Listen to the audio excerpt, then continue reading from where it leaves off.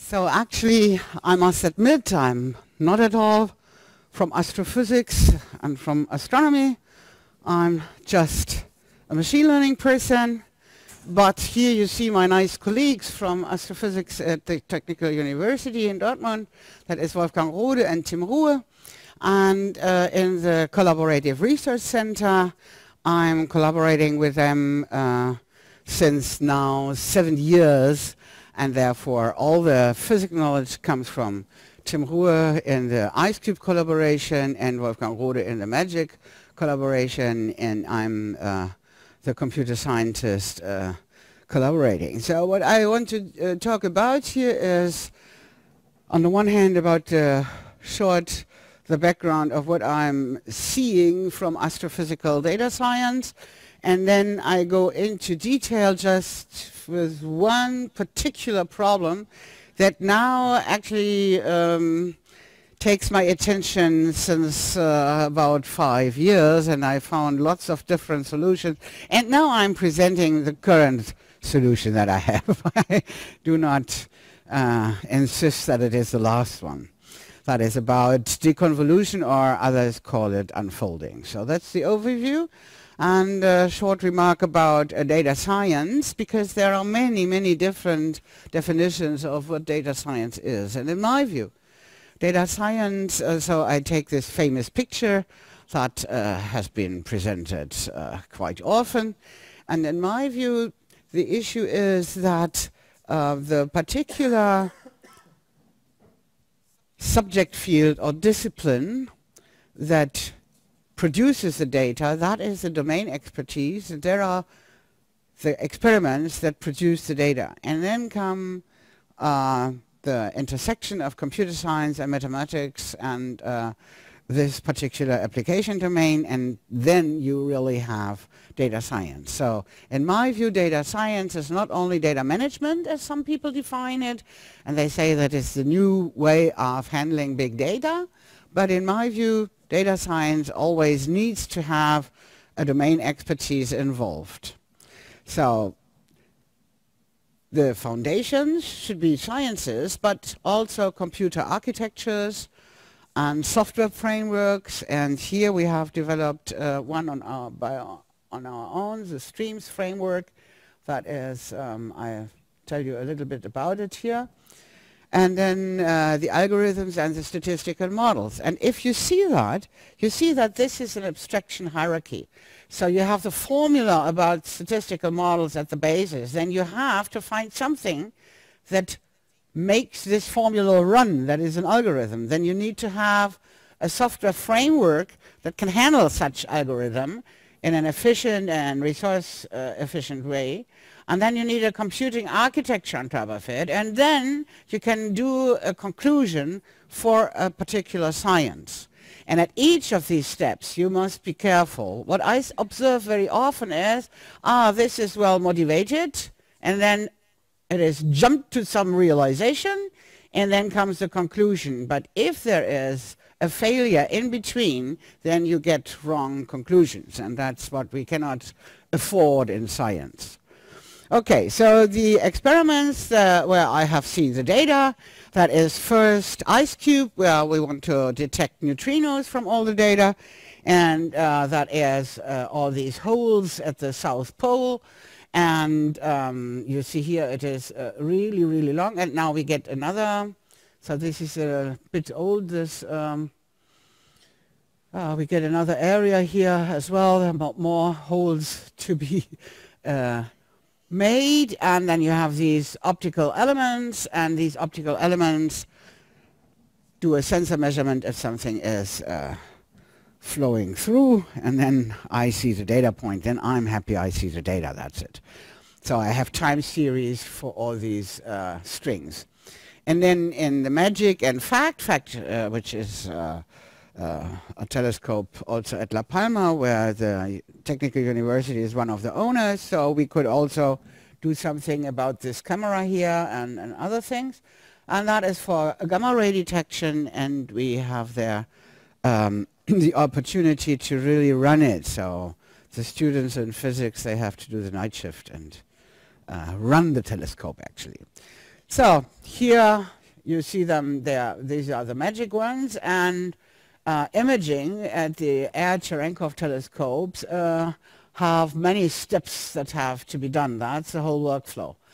And we have worked on all the steps of this workflow, but today I will only talk about a little, little problem that is around here um, when you do the feature extraction and the energy estimation, and that's the deconvolution problem.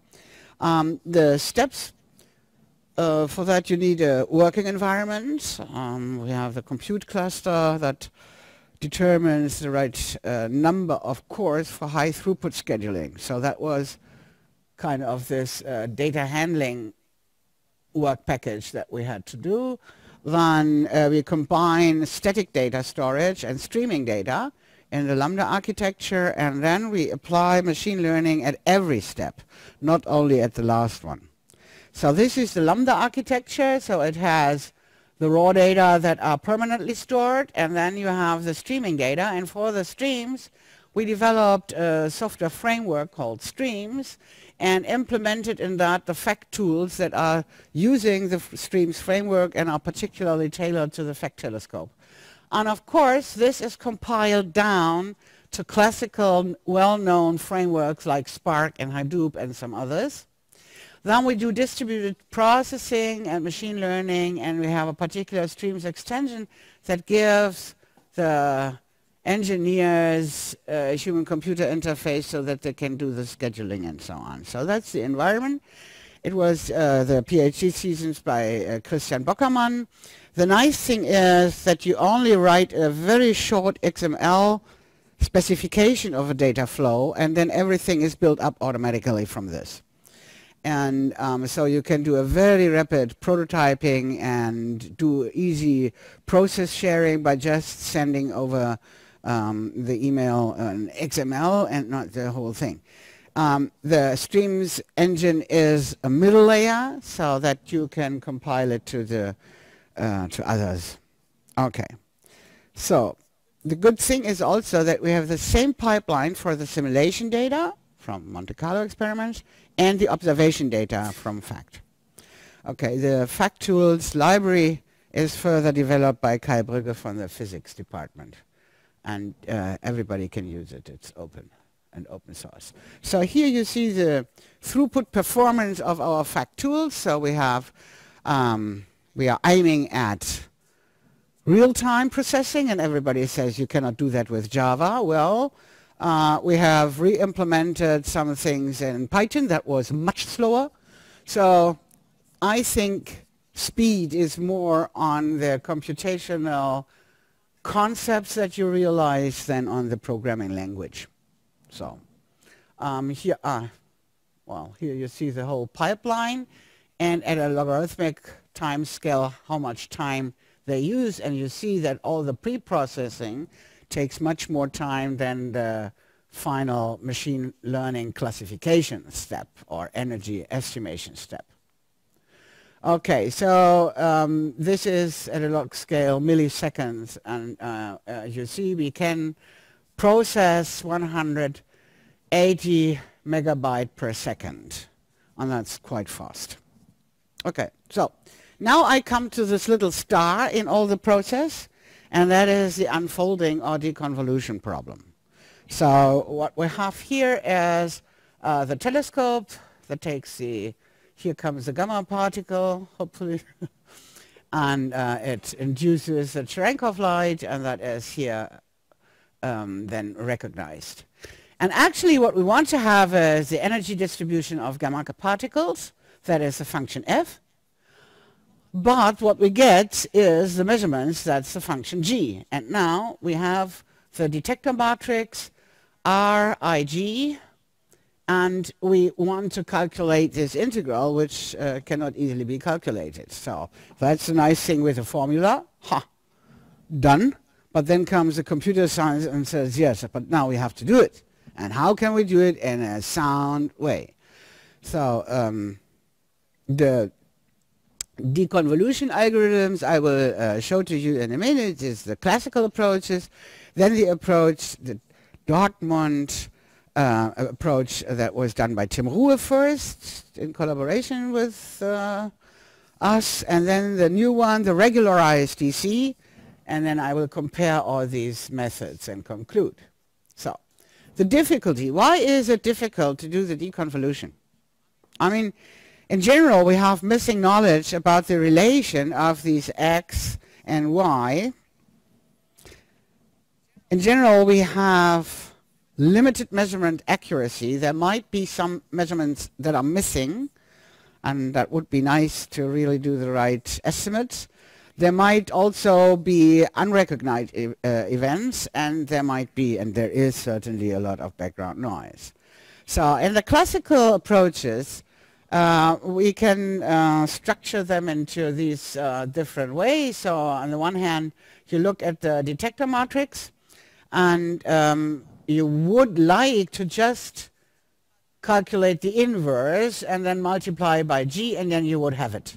So that is a function that is impossible to compute and that would be the nice one. And then of course we can use singular value decomposition. Um, then it would be the naive way that we ha have an estimate of the function f by multiplying our um, our matrix uh, with G, the measurements, and then G, uh, our matrix is split into the three other matrices in the standard manner.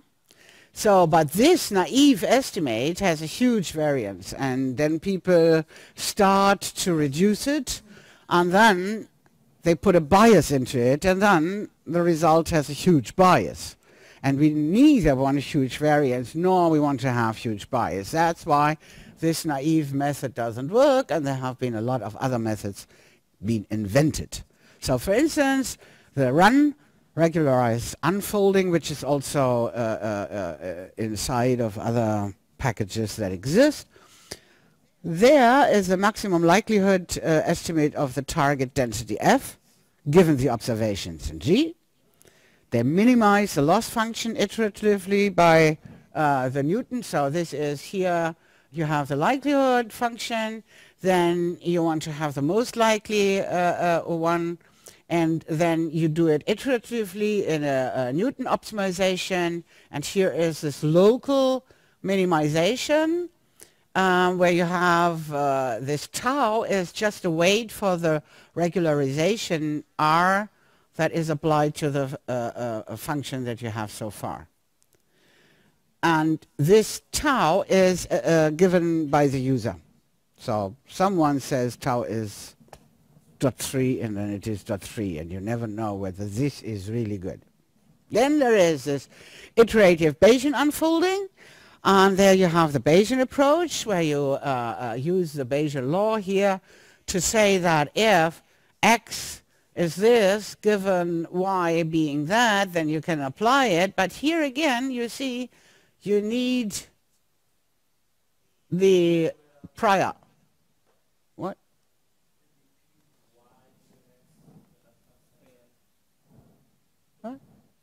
You have?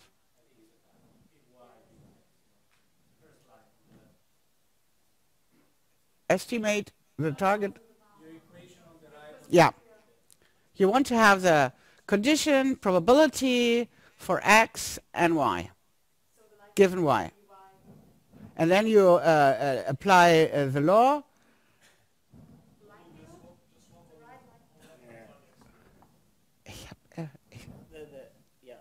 on the right hand side of the equation, the first p should be y and then x instead of x and then y. Right.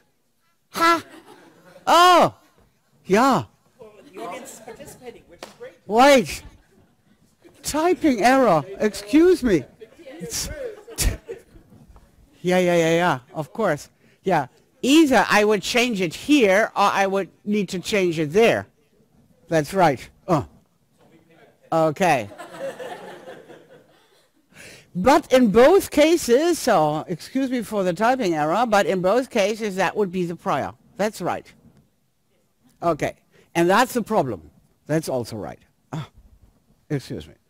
So, and the prior cannot be that accurate. That's the problem here. And therefore, you do an iterative replacement of the prior And um, you do it iteratively such that if you are in this iteration, then you take it from the uh, iteration before, and by this way, you enhance the procedure because you really calculate the prior and do not just say it's dot three. The problem here is then, if the prior is updated too often, what you see is that the result diverges from a good estimate. And that's what you always, with many, many other uh, methods, you also see that. So what we need is a good stopping criterion. So then we started with something completely different. Well, I'm a machine learning person, so I turn it into a classification problem. And how do I turn it into a classification problem? I saw that everybody does a little discretization here and there. It is almost hidden in some procedures, but it is there. And then I said, okay, now we do a discretization like this into intervals of the function f, so the ones that uh, we assume is the true process, and then we turn it into intervals, and we call this interval, all values here, we call a class. So actually what I do is I now handle an interval as a class label. And if I have a class label and I have data, then I can do a classification learner. And that means if I discretize the target energy and I consider it a class label, I can receive the histogram from the simulation data. And that is in my input so that I can do classification learning. And then I get an output confidence for each example. So each observation gets its own classification confidence, which might be quite interesting. So then if, as we can use any classifier we want, if I use a Bayesian classifier, then actually it is very, very close to the procedure before, only that uh, uh, I have, um, uh, I can use the frequency of observations as a prior. And that is well based in the observations then. And the classifier may also be a random forest, and in that case, I get the certainty factor and the uh, confidence. So actually what I, here, what I have is this is the certainty of the model, whatever that is. You can calculate it for different classifiers, whatever you do. You can uh, do it that way. And then if you have this in the random field, there you have several classifiers, you have an ensemble of classifiers, and the agreement, the number of those models that agree, divided by all model number, gives you the confidence. So it is the ratio of the ensemble voters. So this has some advantages for our um, data here. Uh, this is what it looks like here. You really see that there is a gamma particle uh, passing by. This is a very idealized uh, picture. So here you do not need to discretize the observation, you discretize the label and therefore you keep the, uh, the observations as they are and you can have multinomial inputs, you can have more dimensions. You uh, have the contribution of each observation to the model that is acceptable, accessible to the model. You can use arbitrary classifiers and you have a density attached to the event that allows to inspect after deconvolution what you really had. But also DSEA had first the problem that after having a good fit, it diverges from it because of the um, yeah of the iterations. And uh, here I have uh, here these are the DSEA iterations, and that is the Earth mover distance that measures the distance of two different um, distributions. So then we have updated DSEA to become DSEA plus uh, such that we reweight the examples in each iteration in order to fit the true density. And the reweighting is corrected. And that gave us a speed up by an adaptive step size. And as you see, This is the original DSEA, uh, DSEA that uh, moves away from the truth, and that is our DSEA plus that does not. That was what we wanted to do. And so now we have not a stopping criterion, but it will, the reweighting is organized such that it will not deviate from the uh, once found truth. Then we have applied a good comparison method, and that is something which is very important to me, that we have separate inputs uh, from the training data and the observed data. The training data come from the Monte Carlo experiment and the observed data, and that we have a method, we use bootstrapping, um, uh, that really takes both of these and uh, uh, use it here. So we have these different pools and they might have different densities and we can handle that in our evaluation. I find that very important. So we took for each training at most 100,000 examples, randomly chosen, and then we varied that training from the experiments and observations have the same kind of distribution or the, we compare also if one of them were uniform distributed, what would it be? So on the one hand we have the distribution as it is and on the other hand we do a uniform um, density and then the two densities of Monte Carlo and observation are different and then we want to see whether our uh, results can cope with this. And um, yeah, well, as you can see here, we have uh, made it on true data, magic data, and fact data.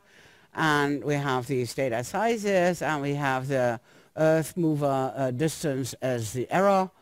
And um, yeah, and there you see the results. Or another way of showing the results, which my colleagues always prefer, is this one where you have the, the, the, the true F known from the simulation. Then we have DSEA plus, which is the green line, and uh, we have the um, regularized uh, run, which is the orange line. So you see it is, uh, even in the very nasty case that you have a uniform training density, although your observations are not uniform uh, distributed, but uh, you see that these algorithm can cope with it.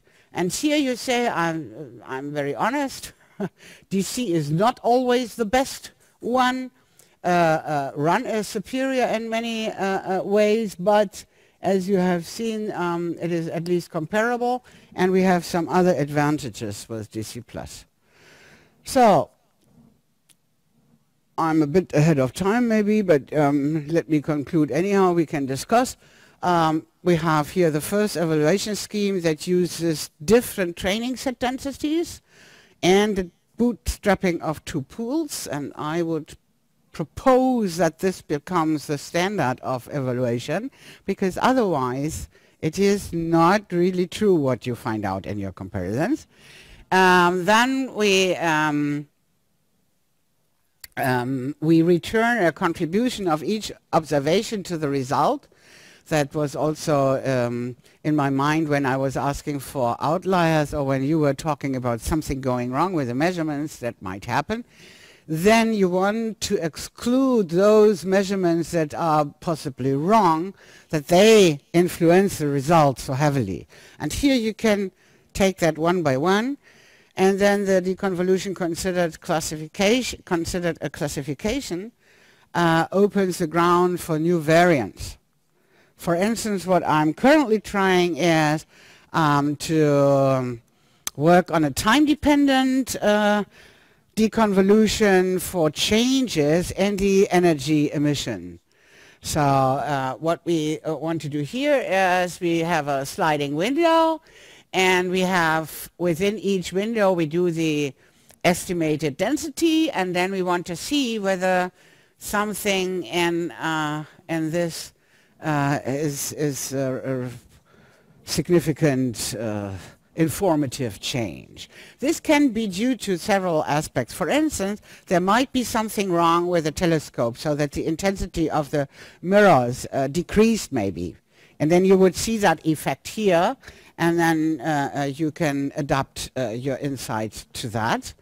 Uh, it might also be that there is something happening uh, in outer space and that gives you different uh, flows of gamma rays maybe.